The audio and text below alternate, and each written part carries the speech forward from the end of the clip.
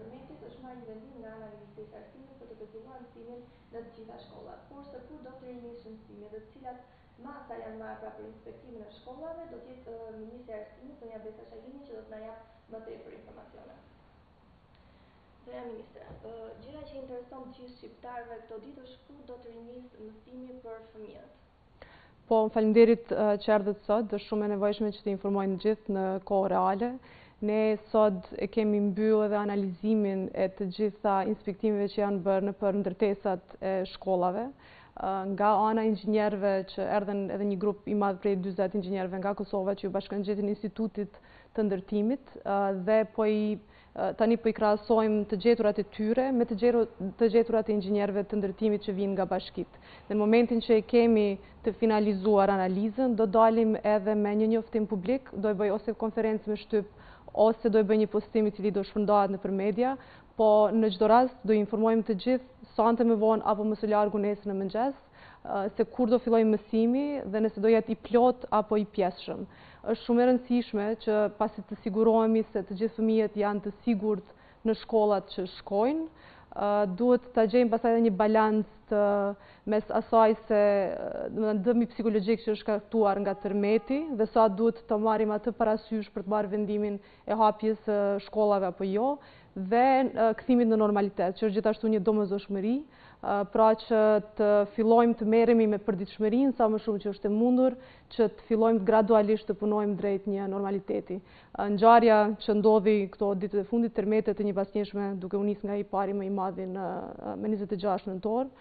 ishte jo vetëm një ngjarje trishtuese, sepse humbën shumë jetë njerëzish dhe mbetën një numër i madh i qytetarëve pa shtëpi, por në anën tjetër na dha edhe një ngushëllim për shkak se u solidarizuan shumë njerëz, kështu që jemi një komunitet i fortë i cili po e ndihmon njëri-tjetrin dhe po shpresoj që mund ta përkthejmë këtë pastaj edhe në ditët e para të mësimit. Sa grupe ekspertësh janë në terren për të bërë të mundur që kur fëmijët të rikthehen në shkollë të kenë një ambient të sigurt? Atëherë ta shpjegoj pak procedurën se çfarë kemi bërë. E kemi bërë të njëjtën procedurë edhe në shtator edhe tani. Realisht, infrastruktura shkollore është një detyrë që i përket bashkive, por marrë parasysh që burimet njerëzore i kanë pas të limituara ngaqë bashkitë janë dashtë të merren edhe me vlerësimin e dëmeve në shtëpitë private, ne iu gjetëm në ndihmë duke bërë dy gjëra. E para, të gjitha zyrat tona vendore që i kemi në terren, i kërkuam të komunikojnë me drejtorët e shkollave, të dalin menjëherë në, në shkollat respektive dhe të shohin me sy nëse ka patur dëmtime, si ato më të rëndat, ashtu edhe ato që janë më të lehta, si plasaritjet e ndryshme. Ata nuk janë inxinjer, një pjesë e madhe e drejtuesve të shkollave natyrisht nuk janë inxhinierë, janë mësues, por mund të shohin me sy nëse ka patur dëme, apo nëse ka patur dëme më shumë se sa që ka patur në shtator. Falë Whatsappit dhe rrjeteve të tjera sociale, ne e morëm këtë informacion qysh në datë njëzet e gjashtë deri në fund të ditës dhe i hodhëm me një tabelë. Në datë njëzet e shtatë e ndamë këtë informacion me inxhinierët e bashkive dhe u përpoqëm që të komunikojmë me kolegët tanë me miqtë e mi në Kosovë. Komuna e Prishtinës na u gjet në ndihmë, ndërmarrja banesore publike, që është një ndërmarrje publike që merret me ndërtimet në Prishtinë, edhe ata na u gjetën në ndihmë, si dhe asociacioni i arkitektëve. Dhe fillimisht menduam të çonin diku dhjetë inxhinierë të ndërtimit të na ndihmonin me vlerësimin e shkollave, paralelisht me inxhinierët e bashkive, por në fund u bë një grup prej dyzet vetave që erdhën me njëzet e tetë dhe me njëzet e nëntë nëntor dhe i panë të gjitha shkollat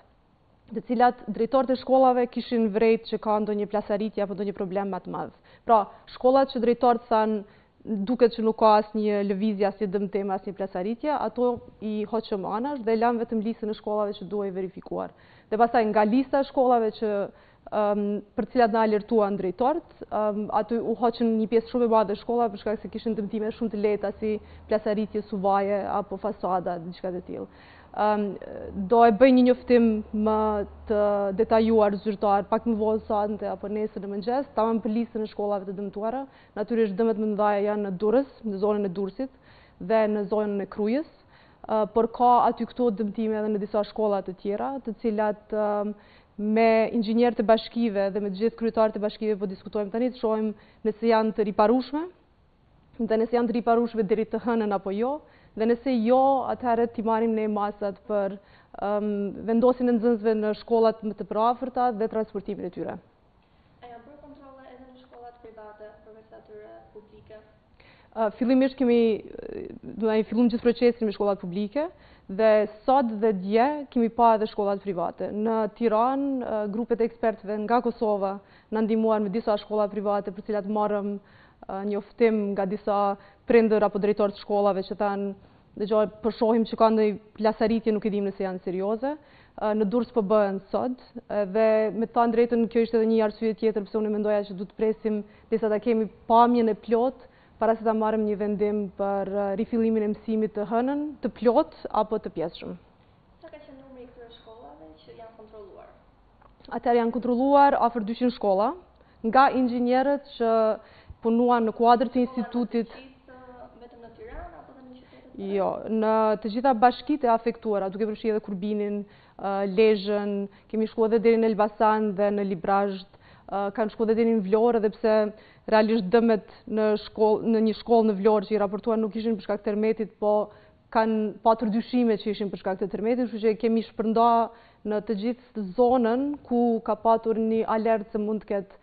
ndonjë dëmtim në shkolla. Pra, po ka qenë diku rreth 200 shkolla që janë vlerësu nga inxhinierët tanë, pas njoftimeve që i morëm nga drejtuesit e zyrave arsimore, po këto nuk janë të gjitha vlerësimet, pra, sepse Instituti i Ndërtimit ka bërë edhe vlerësime të veta që i ka nda me neve dhe bashkitë me inxhinierët e tyre i kanë bërë vlerësime të veta që i kanë nda me neve. Dhe ky rakordim i gjithë këtij informacioni tani po na jap një pasqyrë të qartë se si mund të veprojmë tutje. Këto kontrolle a janë shtrirë edhe në kopshtet dhe çerdhet si ato publike dhe ato private? Patjetër, edhe këtu kemi fillimisht me çerdhet publike Çerdhet dhe kopshtet publike, pastaj edhe ato private. Në Durrës janë parë të gjitha, domethënë secili objekt shkollor dhe secili objekt që ofron ndonjë shërbim arsimor si çerdhe apo kopsht është parë, ndërsa në këto bashkitë e tjera janë parë vetëm ato që kanë që kemi marrë ndonjë alert nga drejtuesit e shkollave se mund të ketë ndonjë problem ose të lehtë ose pak më të rëndë. Po në lidhje me universitetet, janë bërë kontrolle dhe vendimi se kur do të rinisë mësimi, merret nga Ministria e Arsimit apo do të jetë një vendim i pavarur? Universitetet janë autonome, si institucione, kanë senatin, kanë rektoratin, pra ato i marrin vetë vendimin se si do vijojnë me, me vazhdimin e mësimit. Kanë bërë verifikimet e tyre. Ne, për fat të keq, nuk patëm mundësi T'i çojmë inxhinierët tanë në këtë pikë t'i shohin edhe objektet e universiteteve. Një pjesë e madhe verifikimi është bërë nga ata vetë, për shembull Politekniku ka inxhinierë shumë të mirë të ndërtimit, që janë edhe pedagogë aty, që i kanë pa vetë strukturat, dhe po bëjnë edhe një kësi lloj pune pedagogët e Politeknikut edhe për universitetet e tjera. Me një moment të dytë, gjatë javës tjetër, do i verifikojmë universitetet, por në këto zonat e prekura nga tërmeti, në Durrës dhe në Tiranë është marrë vendimi që mësimi të mos mbahet nga vetë universitetet edhe javën tjetër. Ndërsa për të tjerat jemi në komunikim me rektorët, po presim vendimet e tyre. Shkodra dhe Elbasani e kam përshtypjen që do vijojnë, sepse duan të kthejnë sa më parë situatën në një farë normaliteti dhe do ofrojnë çfarëdo mbështetje që mund të ofrojnë studentëve, se mund të kenë edhe studentë nga këto zona që studiojnë në këto universitete dhe universiteti do që t'i mbështesë. por është realisht vendim i vetë universitetit, dhe vetëm na njoftojnë, përpiqen të koordinohen, dhe njoftimet i keni nëpër website-et e universiteteve. Si do të bëhet zëvendësimi i orëve? A do të ketë një ngjeshje të programit, apo do të kemi një shtyrje të vitit shkollor, në pjesën e pushimeve verore? Do jetë pak e vështirë të shtyhet viti shkollor, sidomos për maturantët dhe nxënësit e klasave të nanta, sepse i kemi datat e maturës fikse dhe po përpiqemi gjithmonë që t'i kryejmë me kohë maturën, që t'i lirojmë maturantët të vijojnë me regjistrimet në universitet apo edhe nëse kanë dëshirë të studiojnë diku jashtë, por duhet të bëjmë të zëvendësojmë me të shtuna, disa të shtuna, duhet t'i shkurtojmë pushimet e tjera ndoshta që i kemi të planifikuara dhe do ta shohim, unë mendoj që duhet ta marrim pakëz më me qetësi dhe ta bëjmë në nivel zyre vendore. Pra në Durrës ndoshta do merret një tjetër vendim nga Tirana, por natyrisht të gjitha orët duhet të zëvendësohen sepse nxënësit nuk mund të mbesin mbrapa përkundër një ngjarje tragjike që na ka ndodhur të gjithëve. A është e mundur që mësimet të fillojnë më parë në Tiranë dhe më pas në Durrës dhe Thumanë si vende që kanë qenë më të prekura Duke qenë se Tirana ka më pak dëme, le të themi? Po e mendojmë edhe këtë opsion. Duhet të bëjmë një ndarje së pari mes zonës që është shpallur zonë me një situatë të jashtëzakonshme, që është shpallur dhe gjendja e jashtëzakonshme, që është qarku i Durrësit, qarku i Tiranës dhe Lezha, dhe pjesës tjetër të Shqipërisë që do të vijojë punën dhe shkollën normalisht. Pra së pari duhet ta bëjmë këtë diferencim, pastaj edhe brenda zonës ku është shpallur gjendja e jashtëzakonshme, unë besoj që duhet ta bëjmë edhe këtu një diferencim, të mundohemi të kthehemi në normalitet aty ku kemi mundësi, ku është e sigurt dhe të jemi shumë më fleksibil në zonat ku nuk ka mundësi të kthehet menjëherë situata në normalitet dhe nuk apo nuk ekziston mundësia um, infrastrukturore, pra infrastruktura nuk është e sigurt. Por ne um, edhe në të kaluarën, për arsye të ndryshme, kemi qenë të detyruar për shembull t'i çojmë nxënësit nga një shkollë përkohësisht në një shkollë tjetër. E kemi këtë eksperiencë, jemi duke bërë planin e punës, domethënë dy plane, si thonë planin A, nëse nuk funksionon ky edhe planin B, që të jemi gati në çdo moment të bëjmë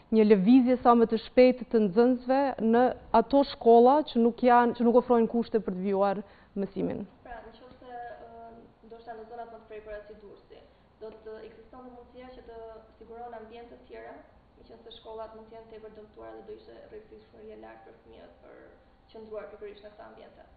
Pikërisht, një pjesë e fëmijëve që janë strehuar në një qytet tjetër nga qyteti nga ku vijnë, për shkak se kanë humbur edhe shtëpinë, ata ne po mendojmë, po i shohim cilat janë shkollat më të afërta dhe do u asigurojmë transportin, që t'i çojmë te shkollat e tjera. Nëpër vendet ku janë strehuar, do kemi mësues ndihmës dhe do kemi psikologët shkollorë që do ju vijnë në ndihmë dhe do t'ju ndihmojnë edhe me detyrat e shpisë pasdite, por dhe të sigurojnë ndonjë zbavitje, domethënë t'jua heqin pak mendjen edhe nga situata në të cilën jemi. Por realisht të gjithë nxënësit do shihet ku janë sot dhe do bëhet transferimi i tyre në shkollën më të afërt të mundshme. Po bëjmë kalkulimet e nevojshme financiare që ta mbulojmë transportin, për gjitha këto lëvizje që kanë ardhur si pasojë e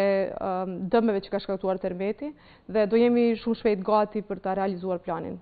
Kush janë pikërisht këto shkolla që kanë pësuar më tepër dëme? Atëherë, listën e shkollave në mënyrë emërore dhe nëse ato do riparohen apo do mbyllen përfundimisht, do e jap në konferencën për shtyp sot në fund të ditës apo nesër në mëngjes, sa ta mbyllim të gjithë analizën e të dhënave që kemi marrë nga terreni. Domethënë, do të na jepni edhe pak kohë, të bëni edhe pak durim, për shkak se informacioni që po na sjell bashkia duhet të rakordohet me informacionin që kemi marrë nga inxhinierët që erdhën në ndihmë nga Kosova. Kështu që ta kemi një informacion dhe pastaj të dalim në publik me listën e saktë. Ajo që është tepër e rëndësishme është a do të merren masa sigurie pasi kanë qenë dy tërmete të fuqishëm në dy muajt e fundit që kanë prekur vendin tonë do merren masa për më tepër për të mos lejuar ndonjë fatkeqësi tjetër të ndodhë. Si po mendoni nëpër shkolla? Atëherë do hapen në këtë pikë vetëm shkollat që janë 100% të sigurta. Domethënë nëse janë vrejt dëme minimale në struktura ose janë vrejt dëme të tjera në struktura shkollore ato nuk do hapen, kështu që do i marrim të gjitha masat që mos të vijojë puna në objektet që janë të dëmtuara. Për gjitha objektet e tjera do bëhen përforcime aty ku është e nevojshme dhe do bëhen përforcime më serioze ndoshta edhe seç janë bërë në shtator kur patëm disa dëmtime të lehta dhe disa plasaritje. Ajo që mendoj që është gjithashtu e rëndësishme, Përveç infrastrukturës, është të krijojmë edhe një ambient ku fëmijët ndihen të sigurt përtej objektit ku janë. Dhe ne i kemi grupet me psikologë dhe punonjës socialë që janë të punësuar nëpër shkolla, të cilët prap i kemi të grumbulluar në grupet e WhatsApp-it dhe po mundemi të mbajmë komunikimin me ta. Janë vetorganizuar, po shkojnë qysh tani vizitojnë fëmijët aty ku janë strehuar. Ju kemi dërguar një manual të organizatës botërore të shëndetësisë, Manual që i njofton, i orienton pak psikologët si të punojnë me traumat që vijnë pas tërmetit, me fëmijë dhe me prindërit e tyre, po edhe me mësuesit, se dhe mësues ka nevojë për një orientim. Dhe unë besoj që psikolog dhe punonjës social, sidomos ata do jenë gati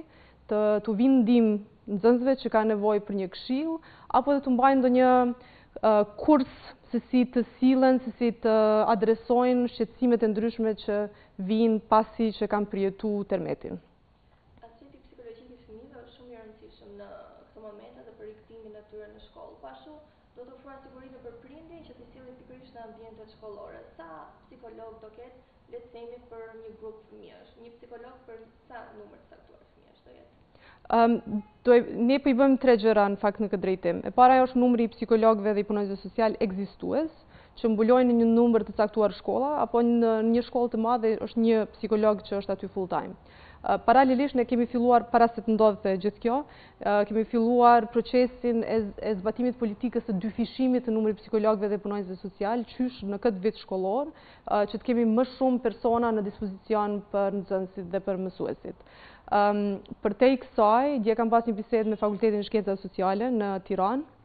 të cilët kanë pas biseda me fakultetet e tjera të shkencave sociale në universitetet publike. Ata po i organizojnë studentët e masterit në psikologji që janë para diplomimit, po i bëjnë një trajnim në mënyrë që të vijnë në ndihmë sidomos në këtë fazën emergjente. Dua të nënvizoj një gjë që situata nuk do përmirësohet menjëherë, Pra do të kemi nevojë për ndihmë të specialistëve të ndryshëm si inxhinierëve, si psikologëve, mjekëve e të tjerë edhe në javët dhe muajt në vijim. Kështu që po e përgatisim një ushtri të tërë të psikologëve që do mund t'u vijnë në ndihmë nxënësve, po edhe mësuesve dhe në një farë mënyre t'u japin edhe prindëve sigurinë se kur fëmiu shkon në shkollë, nuk e ka vetëm shkollën e sigurt, objektin e sigurt, por do ta gjejë edhe një ambient të ngrohtë ku shqetësimi i fëmijës do të mirëpritet nga një person i specializuar të adresojë atë shqetësim. Për sa kohë që nuk ka ende një vendim se kur do të rinisin shkollat, pikërisht në këto ambiente shkollore, a ka dikush që nuk që bën të mundur që të mos hyjnë persona të tjerë për të mos patur ndonjë rrezik? shkollat të cilat janë, kanë një rrezikshmëri më të lartë, nuk janë në të njëjtin nivel sikur banesat që kishin një rrezikshmëri më të lartë. Pra, ne kemi qenë shumë, s'kemi qenë fare fleksibël te kjo pjesa e adresimit të dëmeve që kanë të bëjnë me shkolla. Nëse ka patur një dëm sado të vogël, i cili është strukturor, ajo shkollë është cilësuar si një shkollë e cila nuk do mund të hapet. Por kjo nuk do të thotë që ka një rrezikshmëri të ndodhë diçka specifike në atë shkollë që të mund të lëndojë dikë. Në parim, nuk afrohet askush afër shkollave kur nuk janë të hapura, kështu që nuk e kemi këtë rrezik tani, por në momentin që dalim me listën e shkollave që nuk do hapen, natyrisht që do vendoset edhe aty shirit dhe kjo do i japë njerëzve edhe sinjalin se nuk duhet të afrohen. Pikërisht nëpër shkolla ku do të bëhet edhe qëndrimi i fëmijëve, pra do të zhvillohen orët normalisht fillimisht apo ndoshta do të kemi ndonjë program më të reduktuar? Duhet të shohim nga rasti në rast. Pra nëse duhet që një shkollë e cila ka punuar me një turn të punojë me dy turne derisa të sistemohen nxënësit e një shkolle e cila mund të mos hapet, atëherë ndoshta do të punohet me një orar të reduktuar në fillim, derisa të kalojmë fazën e dimrit, të zgjatet dita dhe ta t'i zgjerojmë orët. Pra do të marrim vendim nga shkolla në shkollë që të sigurojmë kushtet më optimale të përshtatshme për atë për atë shkollë dhe për atë zonë. Um, unë kam lëviz shumë gjatë këtyre ditëve në Durrës edhe në Krujë, uh, kam qenë edhe në Lezhë pak, edhe në Tiranë, përjetimi përkundër që E gjithë kjo është një zonë e cila është prekur nga tërmeti. Përjetimi nga një fshat në tjetrin, nga një qytet në tjetrin, ishte i ndryshëm për shkak se kjo linja, domethanë e afektume e tërmetit ishte e koncentruar në disa qytete dhe fshatra, po jo në të tjerat.